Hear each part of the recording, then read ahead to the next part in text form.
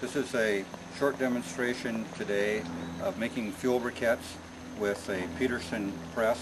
This is um, innovation by Bob Peterson, who's a member of the Beaverton Rotary Club, who after looking at the, the large mini Bryant press that has been in use for many years, uh, decided that um, a smaller one could be made that would be uh, less expensive and easier to manufacture. And also today we're going to be using a couple more innovations in, in the mold set. The material that I'm using today is about uh, one-third uh, yard clippings from, um, from our backyard, which has some leaves and grass in it that have been uh, allowed to uh, sit between some black plastic and break down the fiber. There's about one-third uh, sawdust that's been added and about one-third uh, shredded paper that's been through a paper shredder. To uh, make br briquettes, you have a, a, base. This one has some channels cut in the, the, bottom with the idea that we're going to have the water coming out the, the bottom. We then have um, a 4-inch PVC tube. This one is a, a, solid tube. There's no holes drilled in the side.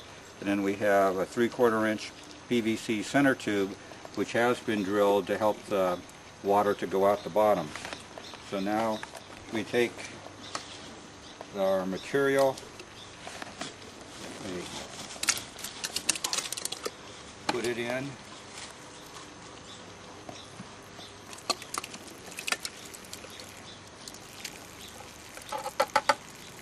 Put in our centerpiece which has uh, some little pieces of wood added to it to, to help the briquette uh, get more air to burn. Now put in our top.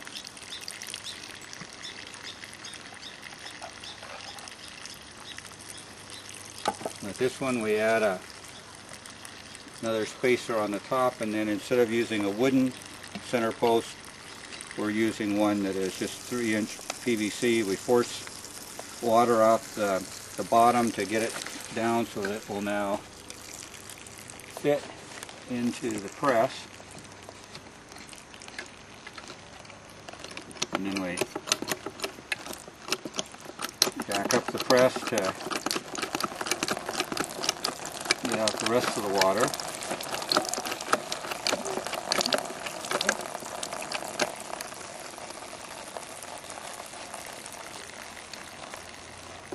And we can let the pressure off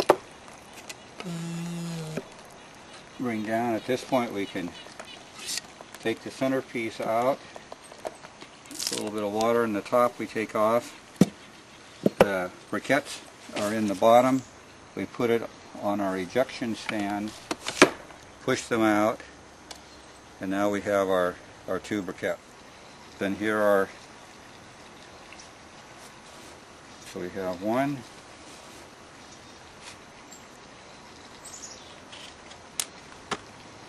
And the second one, in tropical sun, these would dry in about three days.